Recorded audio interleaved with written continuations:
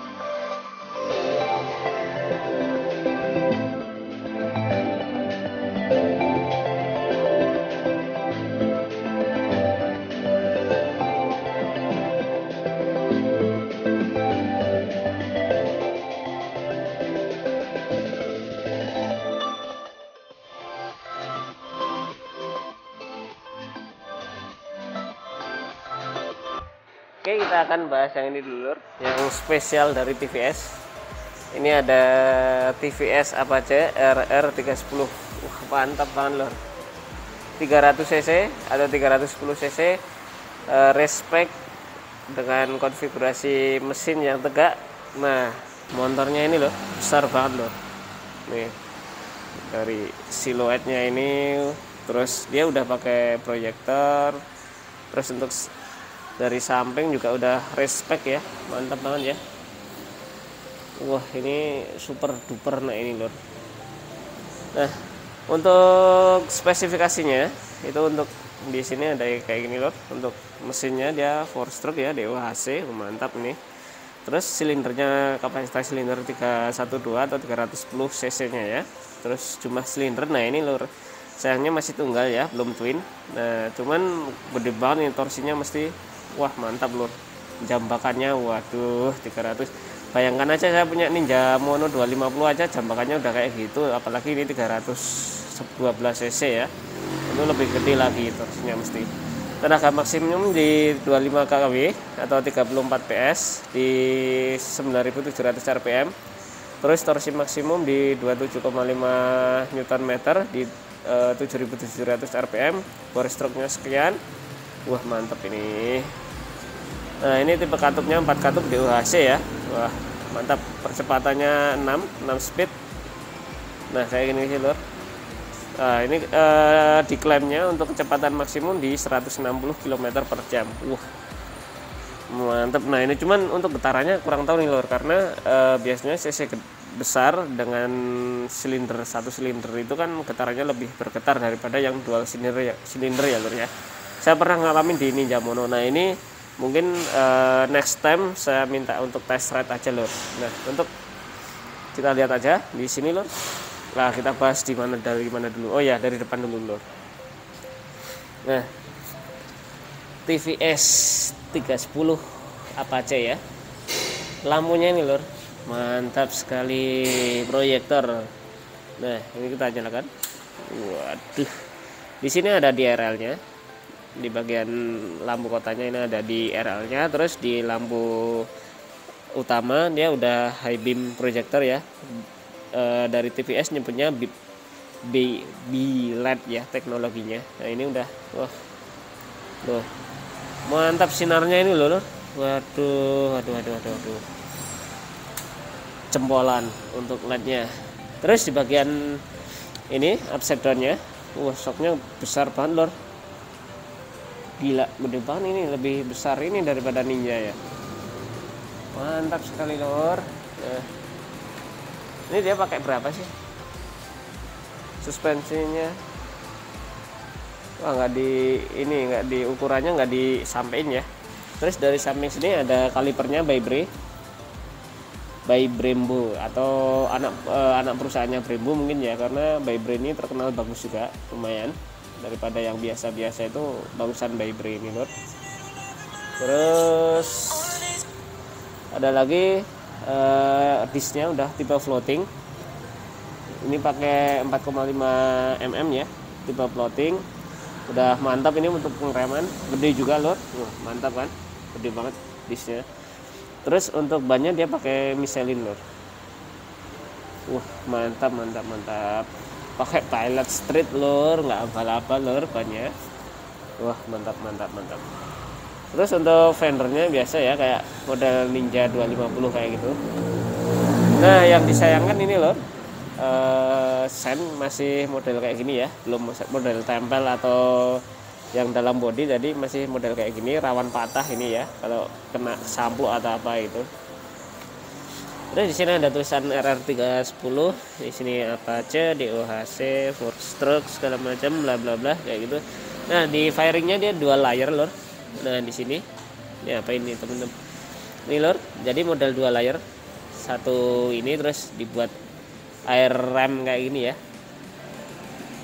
Nah ini lubangnya beneran ya. Jadi untuk membuang anginnya lebih maksimal lebih bagus. Nah ini model dua layer bagus terus untuk tralisnya dia pakai tralis frame ya. Framenya itu pakai tralis frame kayak gini. Wah ini tralis framenya lebih mantap dari uh, CPR 250 ya lur ya. Ini ke, kelihatan kekar banget. Desainnya ini dari BMW 310 ya lur ya. E, jadi dia mengadopsikan dari BMW 310 entah kerjasama atau gimana. Yang jelas yang pasti kerjasama ya lur ya antara desainer BMW dan diambil ke Apache ini. Framenya begitu mantap lur respect kayak gini uh. terus di bagian shocknya dia kayak apa nih. Nggak ada tulisannya lur yang jelas gede juga. Wah mantap juga lur ini udah putih catnya. Terus bagian armnya solid lor wah ini lubang sini nah sini. Ini pakai apa? Mungkin aluminium cor-coran lor ini. Bentuknya juga mantap ya lor ya nih. Bagian armnya swing armnya itu. Terus bagian pijakan kaki atau footstep ini kayak gini. Bentuknya udah bagus banget. Nah nah ini dia mesinnya super tegak lur. Jadi nggak cuma miring dia udah tegak kayak gini. Udah buat mesin balap beneran lur kali ini. Mantap banget mantap mantap. Terus model knalpotnya kayak gini ya. Lingkar sebelah sini terus rantai segala macam. Kalau rantai standar mungkin ya tapi gede juga sih lur. Bannya oh ya untuk ukuran bannya itu belakang 150 per 60 pakai Michelin terus bagian depan 120 lur harusnya. Mana nih iya yeah. 120 pakai pilot pilot strip. Oke. Kita ke atas untuk desain joknya kayak gini. Kita coba buka.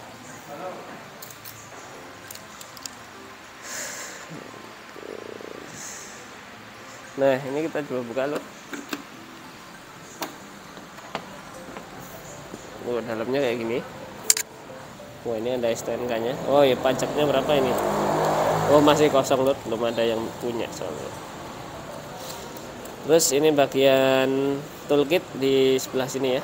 Jadi cuma ya persis mirip sama Ninja Mono ya Ininya untuk bagian belakangnya sempit nggak ada yang bisa ditaruh mantrol atau apa itu nah. Untuk pengunciannya gimana Oh gini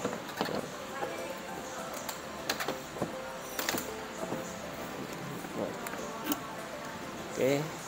Terus bagian sini ada kayak air ram, cuman dia fake ya atau uh, ketutup nggak lubang beneran.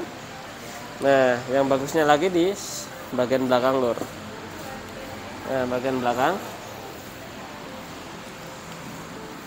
Ini lur. Jadi kayak dua layer juga. Di bagian spakboard sini ada something ya sesuatu yang jendel kayak gini. Terus di sini udah ada uh, undercrowl atau apa atau mudguard terus bagian ini udah pressing look banget jalur ya. Ini udah pendek banget sini. Untuk lampunya seperti ini kita nyalakan uh, mantap ya udah LED, LED kayak gini lur. Mantap sekali lur. Ini kita kalau kita rem. Eh sorry ini kopling. Kita rem kayak gitu. Untuk sennya kanan kiri. Nah ini udah ada mata kucing juga. Reflektor mata kucing kayak ala-ala motor Eropa ya. Terus bagian muffler. Sini. Nah mufflernya gede kayak gini loh. Udah mantap juga.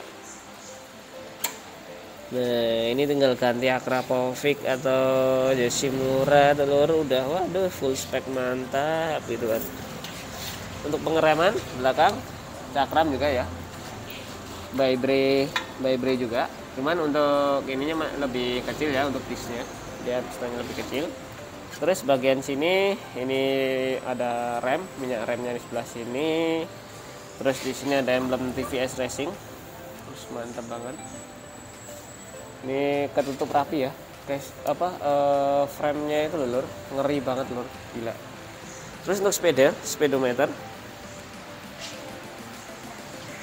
Coba kita nyalakan. Modalnya mirip-mirip apa KTM KTM KTM series ya lur ya. Dia udah ABS ini KTM KTM serinya dia keturun ke bawah ini bukan melebar ke samping.